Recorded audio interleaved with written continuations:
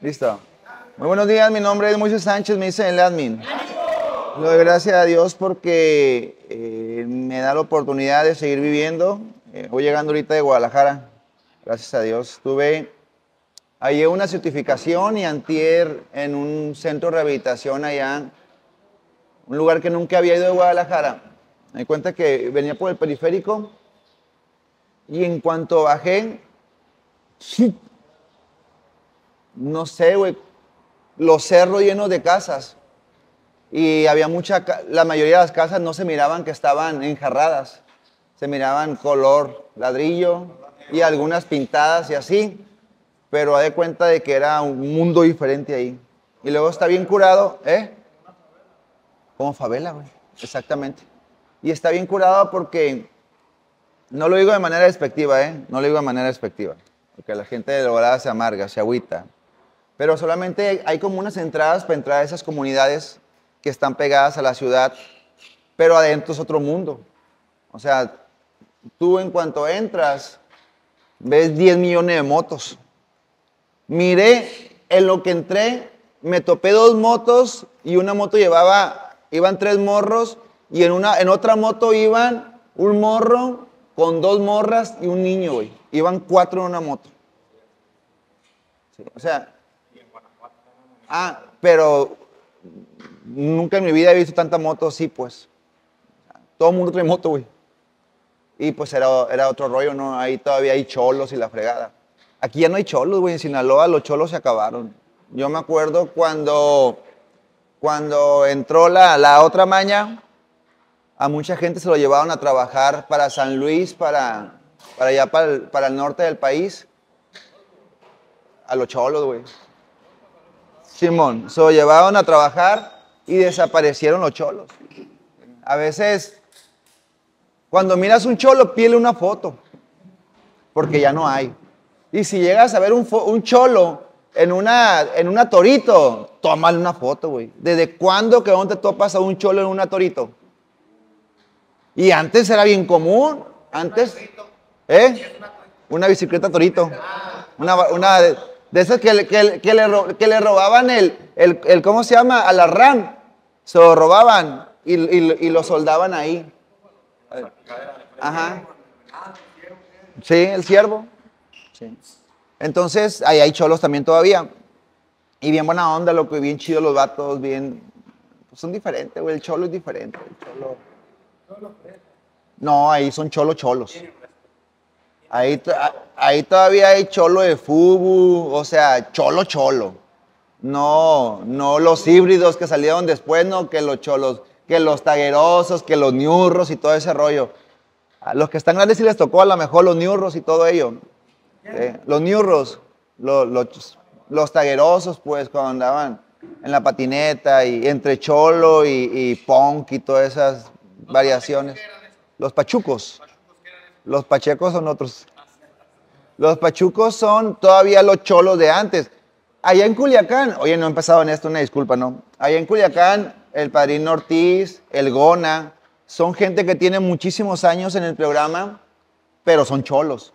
Y son cholos de los pachucos. ¿Sí? ¿Lo conoce el Gona? ¿Cómo se dice el Gona? Bien, loco, bien, bien, bien, bien, bien, bien, bien tumbado, bien tumbado. Aquí se acaba de festejar aniversario el Chonchis, el de la Bachomo, ¿no lo conocen?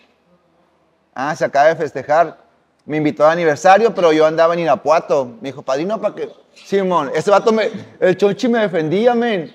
Me defendía el Chonchis. Le caí bien. Y como era más grande que yo, el vato me defendía. Se festejó como 15, no sé cuántos años se festejó para no exagerar. Pero en su aniversario hace como unos 20 días le pusieron una de, de cholos, pero de la de antes, güey. Y el morro se puso a bailar, güey. Y anda limpio. O sea, pues tiene mucho más tiempo que yo y pues todos los que estamos aquí. Pero bueno, ya andamos aquí en los mochis y no voy a salir, si Dios quiere, no salgo hasta, hasta el ti- 15. Tengo certificación 15, 16, 17, 18 en Guadalajara. Y ya de ahí arranco para Tijuana, para Los Ángeles, para Tijuana y para el otro mes Irapuato, no, Torreón, Coahuila. Pero bueno, Dice, hay que romper el círculo del pesimismo. Una actitud positiva es esencial para ver la oportunidad que nos ofrece la vida. Mucho tiempo hemos estado muy enfrascados en el pesimismo. ¿Por qué? Porque se ha ido de nosotros la ilusión, la credibilidad, el deseo. no es para que estuvieran amargados aquí. O sea, yo he estado amargado internado, o sea, no es para que hubiéramos estado amargados dentro del internado, porque al final estamos haciendo algo que no podíamos hacer, que era parar de consumir. ¿sí? Estamos vivos otra vez. Pero te hago la pregunta, ¿por qué mucho tiempo dentro de nosotros ha, ha estado el pesimismo apoderándose de nosotros? Yo sé que no es la palabra correcta, pero alguien me puede decir, ¿por qué? ¿Por qué?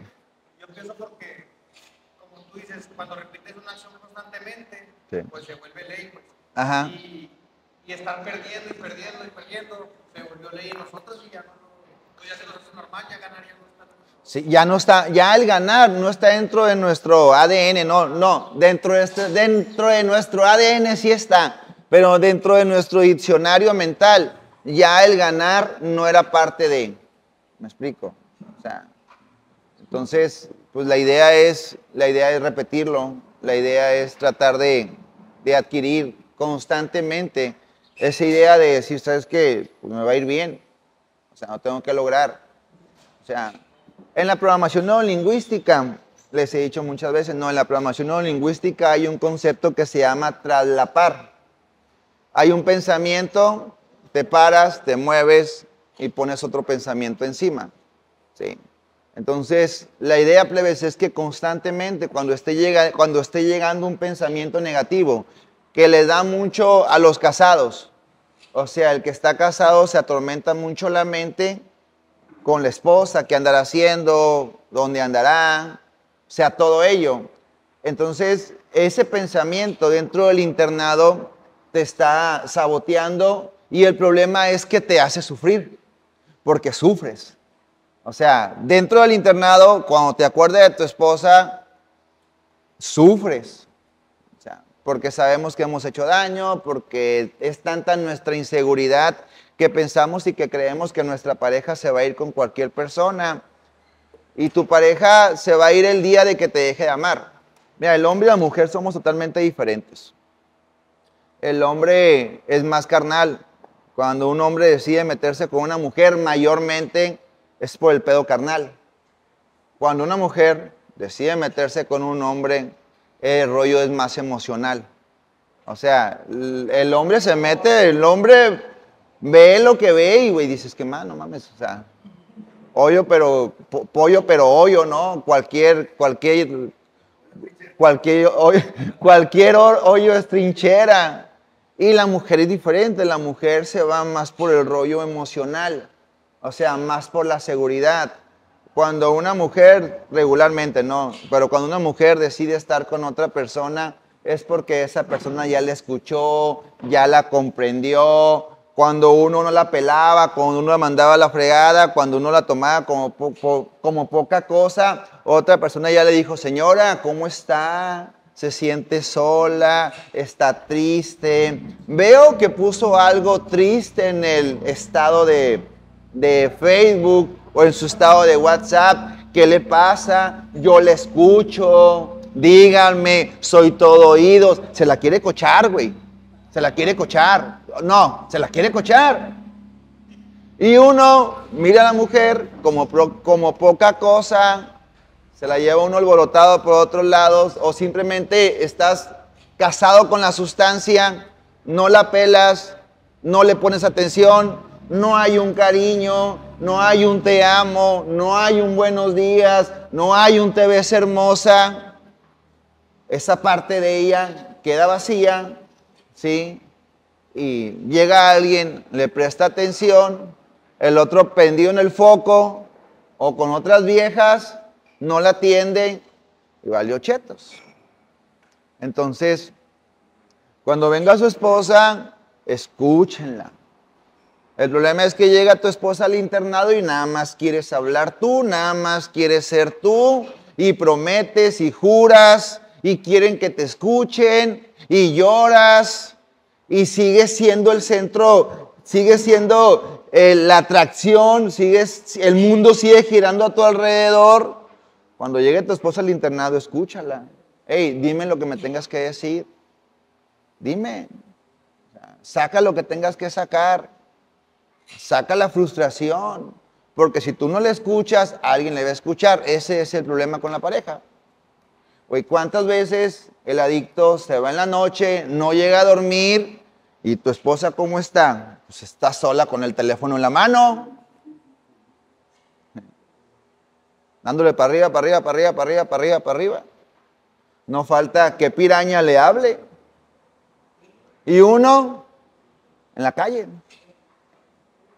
Por eso tiene que despertar uno, Por eso tiene que dar atención, por eso tienes que escuchar a tu mamá, tienes que escuchar a tus hijos. O sea, cuando lleguen tus hijos, escúchalos a ellos. Pregúntale cómo están, cómo se sienten. Al final, plebes, es empatía. O sea, la idea es cada vez tener más empatía. ¿Ok? Así, a veces uno no quiere enfrentar lo que la familia te va a decir. Porque uno piensa, guacha, uno piensa que porque está aquí está pagando. No estás pagando nada.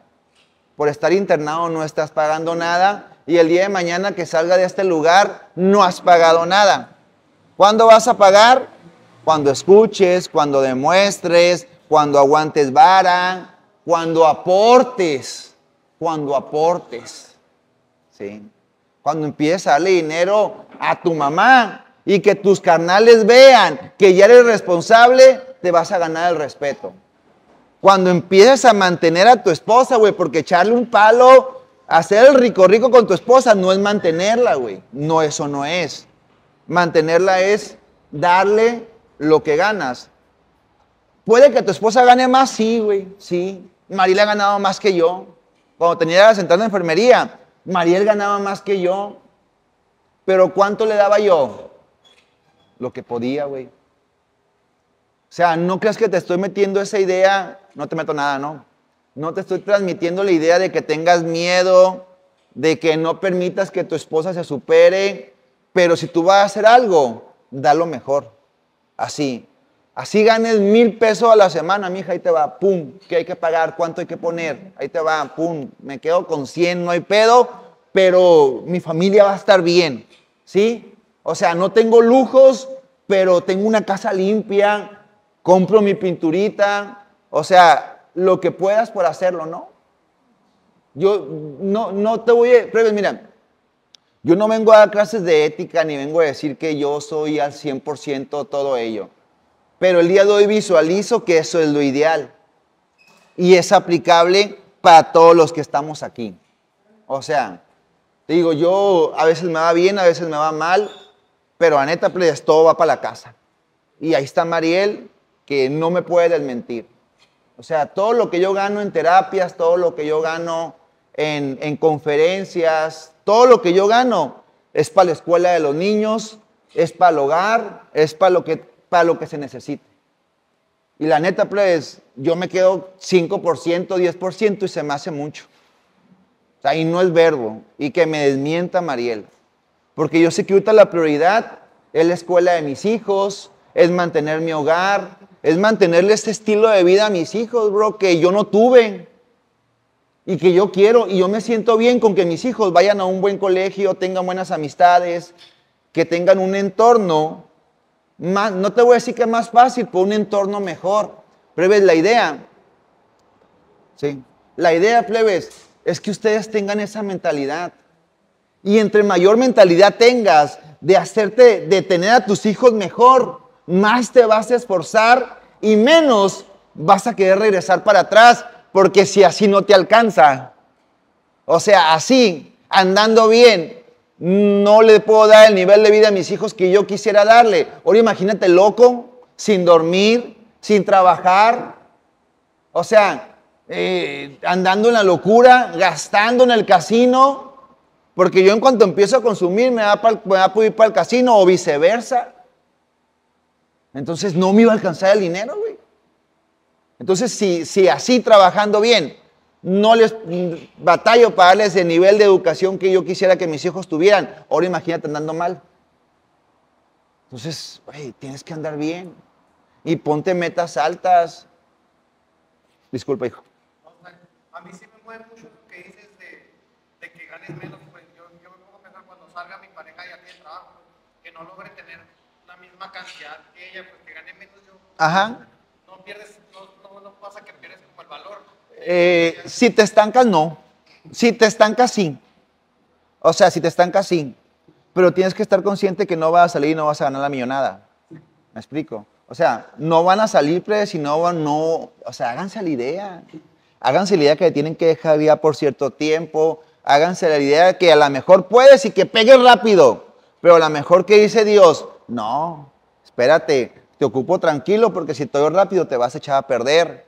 ¿Cuántas personas no hay que dicen, Dios, quiero dinero, Dios, quiero que este negocio pegue? ¿Y qué dice Dios? Bueno, te bendigo, te pega el negocio, el emprendimiento, se te sube lo, se, me- se nos sube lo pendejo a la cabeza, ya no nos preocupamos por la familia, hacemos otras cosas, volvemos a consumir y algo que era para bendición se convierte algo para maldición. Por eso dicen, cuidado con lo que le pides a Dios. Y es un axioma que se usa mucho en el centro de rehabilitación, ¿no? en el grupo, en los programas. Cuidado con lo que le pides a Dios. O sea, porque te lo puede dar. El problema no es que te lo dé. El problema es, tienes la capacidad para poderlo manejar. Entonces, tú no pierdes valor si tú ganas menos que tu esposa. Si, si de tu sueldo tú das lo mejor y estás en constante crecimiento, ay, no pierdes valor.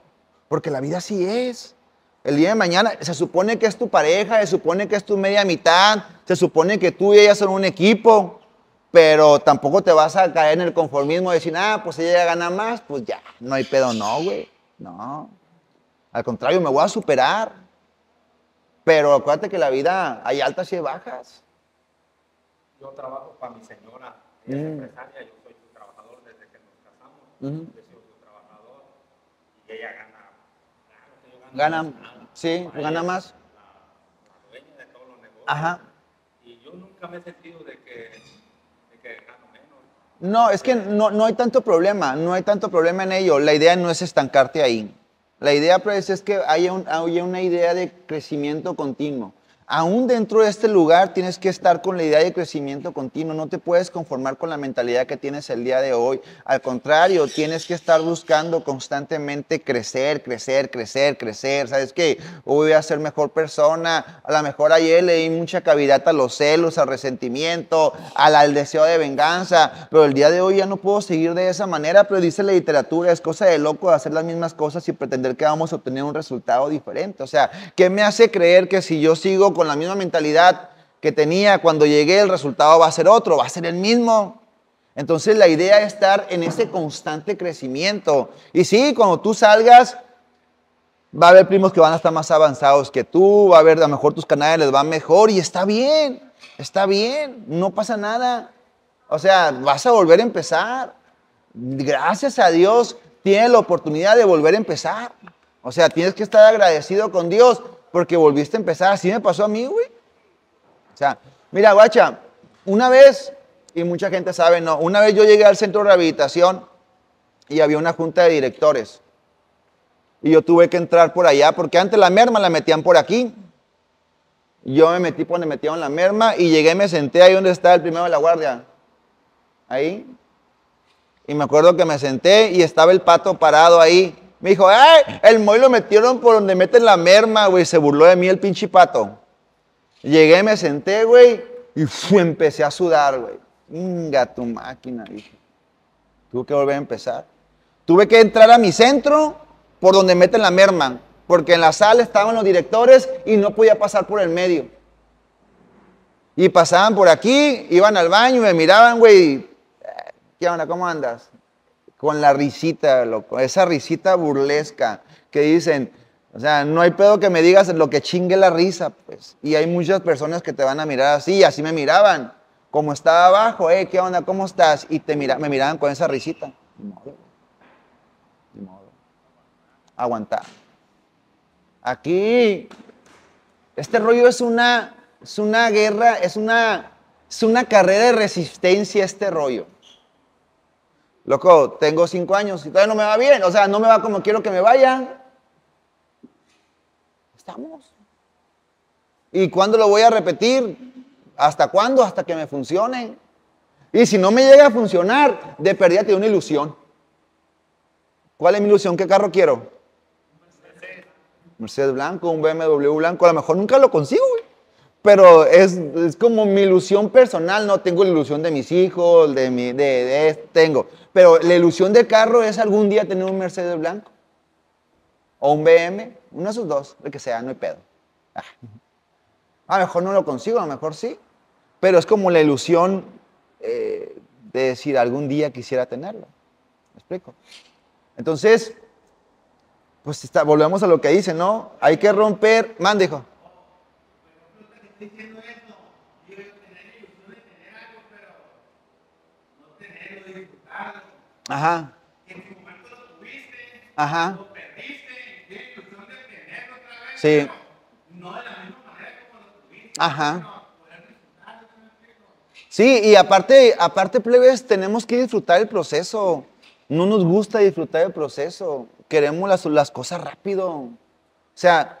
¿cuánto ganabas? ¿Cuánto tenías cuando estabas en Pemex y todo ese rollo?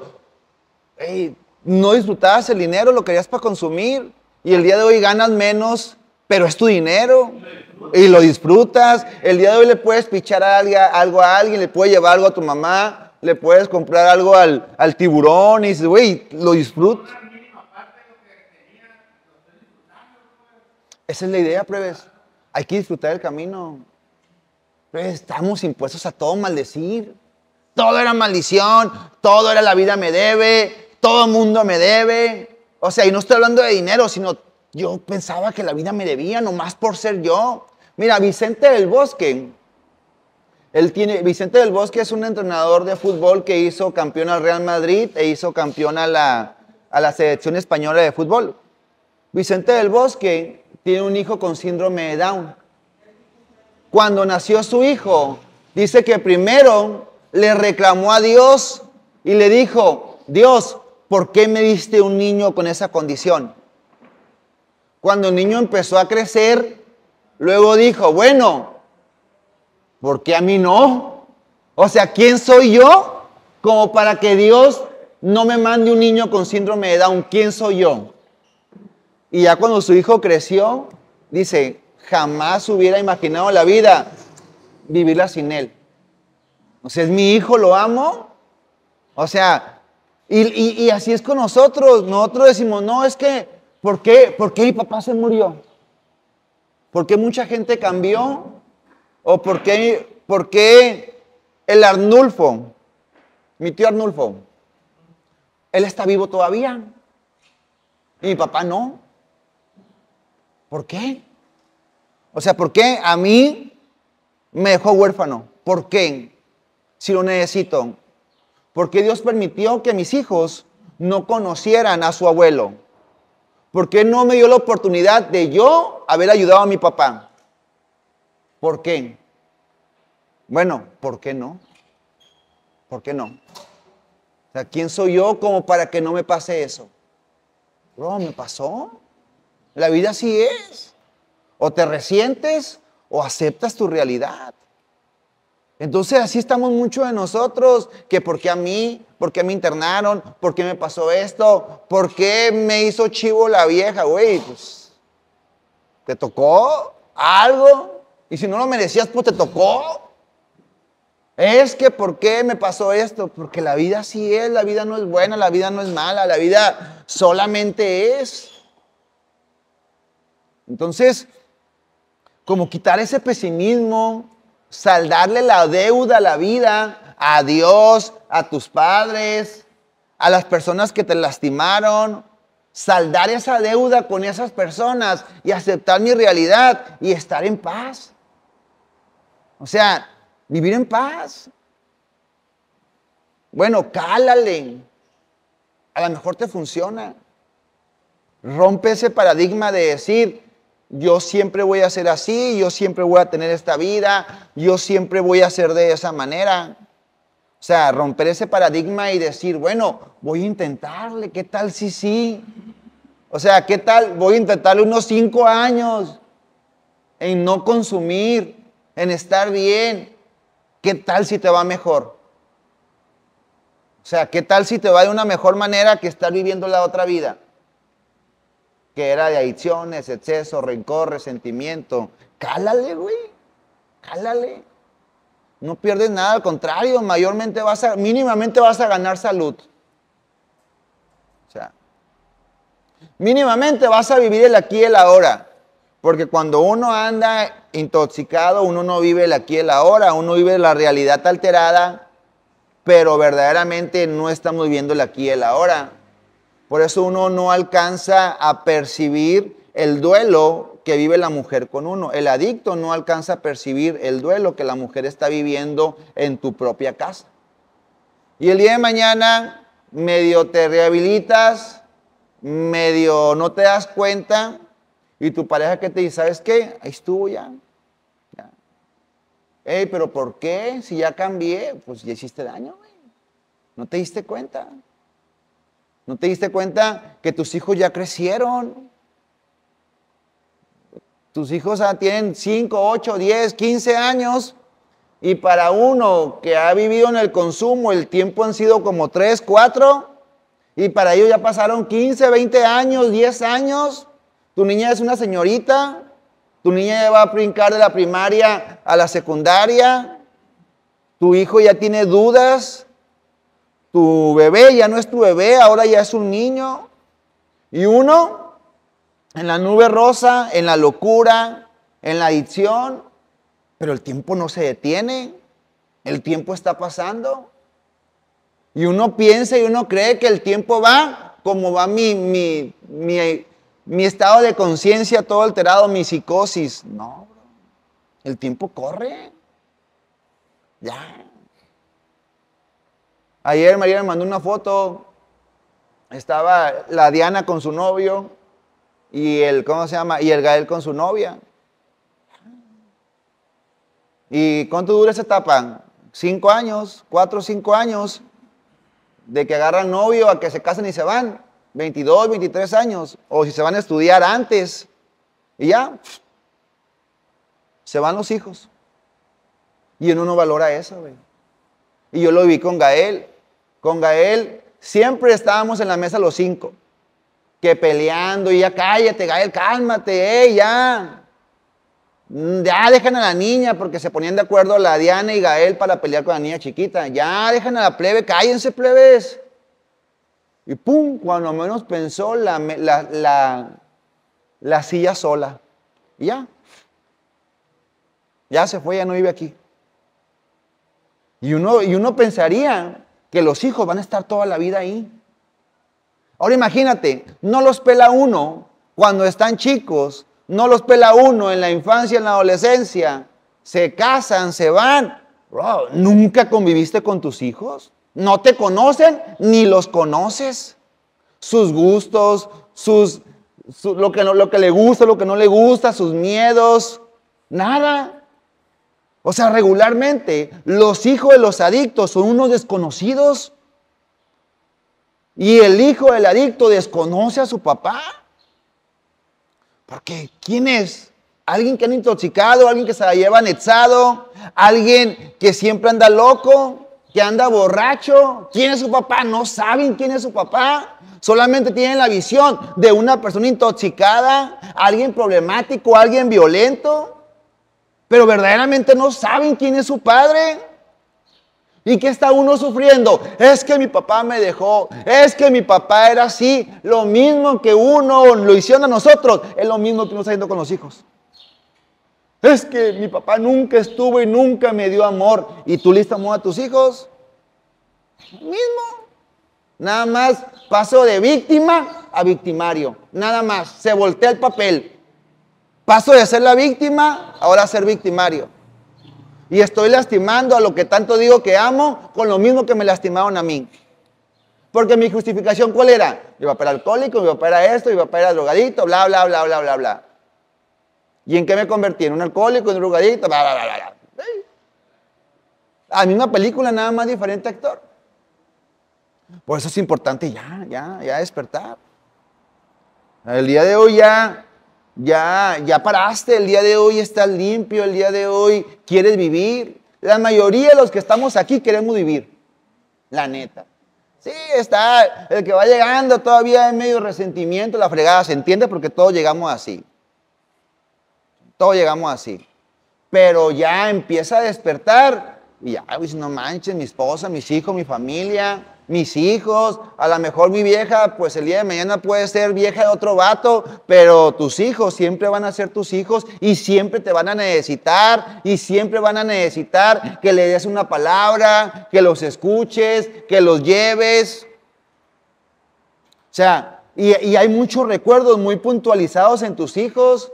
En el kinder, en algún momento te van a hablar para que hagas competencia con otros papás y te pongas el, el costal o, o- en, una carrucha te, te- empujen y te regresen y ¡pac!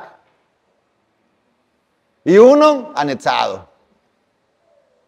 Aquí agarrando con carrucha a otro, ¿verdad, abuela?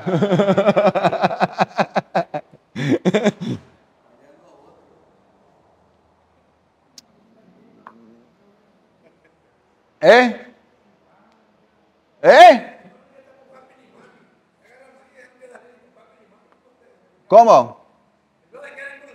Ajá. ¿Y por qué tu hija se va con otro vato? Porque tú no le haces madre y el vato sí. Pues no.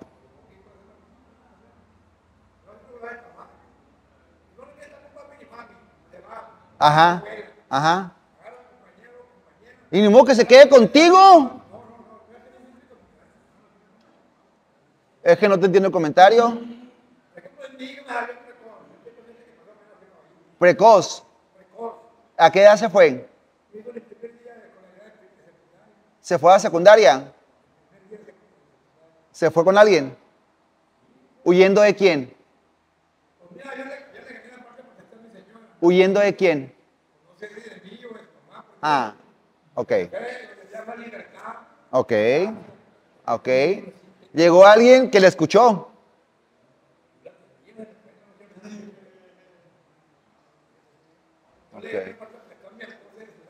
Entonces tu hija es una cusca. Ah, pues hasta es lo que está diciendo. Él, pero que es la misma. Pues sí, pues se van a ir, no se van a quedar contigo. Por eso tienes que aprovecharla el tiempo que tus hijos estén contigo. Tienes que aprovecharlos y darles tiempo de valor. No, no estoy enojando. Entonces estamos en sintonía. Al final tienes que aprovechar, tienes que aprovechar a tus hijos ahorita que están, ahorita que están. Así. ¿Sí? Que te, te entiendo perfectamente. O sea, tienes que aprovechar a tus hijos ahorita que están. El día de mañana no sabes si no van a estar. No, lo que pasa es que así habla él. Así habla. No, está dando el concepto. Nomás que quería preguntar qué concepto estaba dando. Mira, pruebe, disfruten a sus hijos. Disfrútenlos. Disfrútenlos. Ahorita que pueden. El día de mañana, Dios no quiera, se pueden ir. Y, y ya van a vivir su vida. Van a llevar la secuencia natural del ser humano, nacer, crecer, reproducirse y ya no estar y desvivirse. Entonces uno hay que llevar, hay que acompañar a las personas en, esa, en, ese proceso. ¿Me explico? Acompañen a sus hijos. Acompáñenlos. Y si el día de mañana deciden irse, que se vayan. Y si el día de mañana deciden regresarse, pues lo recibes, son tus hijos. Ni modo que le digas que no, ni modo que le digas, no, no vuelvas porque ya te fuiste. No, ven. Al final, no hay amor más incondicional que el amor de los padres.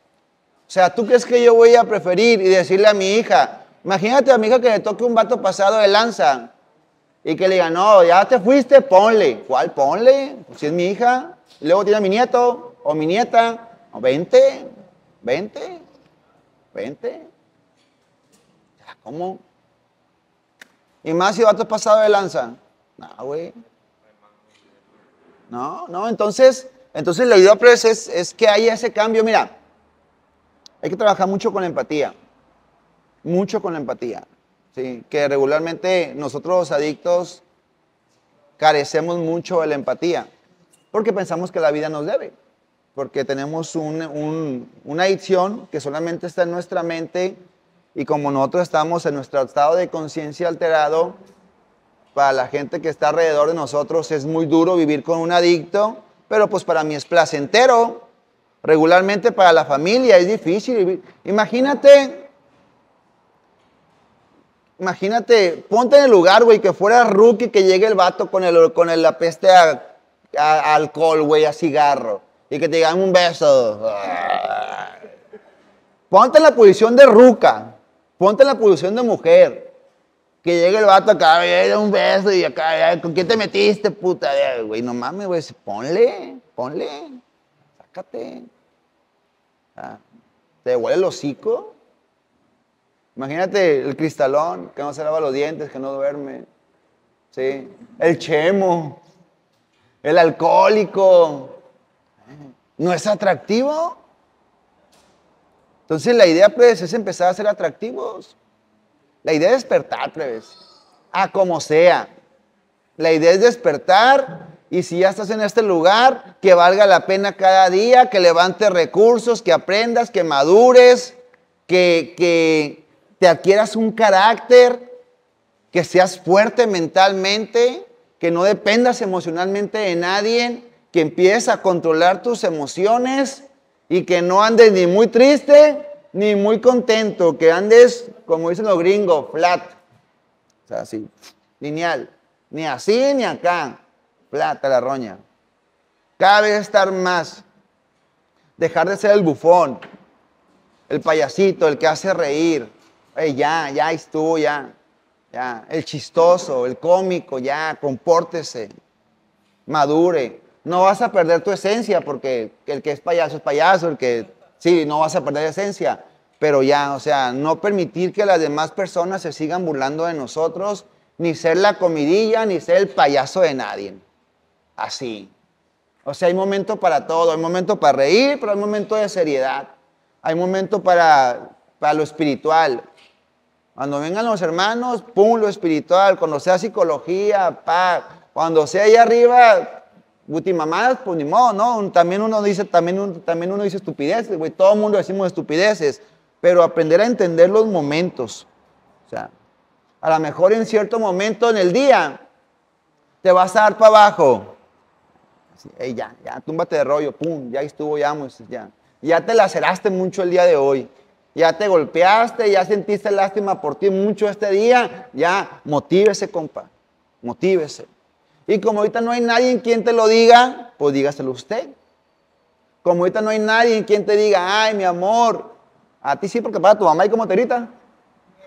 Ver, perdida escucha a su mamá pasar, pero ustedes no. O sea, ah, ¿sí o no? Sí, pero, pero ustedes no. Bueno, ustedes tienen que buscar la manera de, pues, pues si antes nos autodábamos placer, que no nos podamos automotivar. Entonces, abuela, pues, por último vamos a acabar con un aplauso. Parece ser que estuvo en la tierra por 33 años, que fue crucificado, humillado, lacerado, pues resucitó al tercer día y su nombre es. Un aplauso.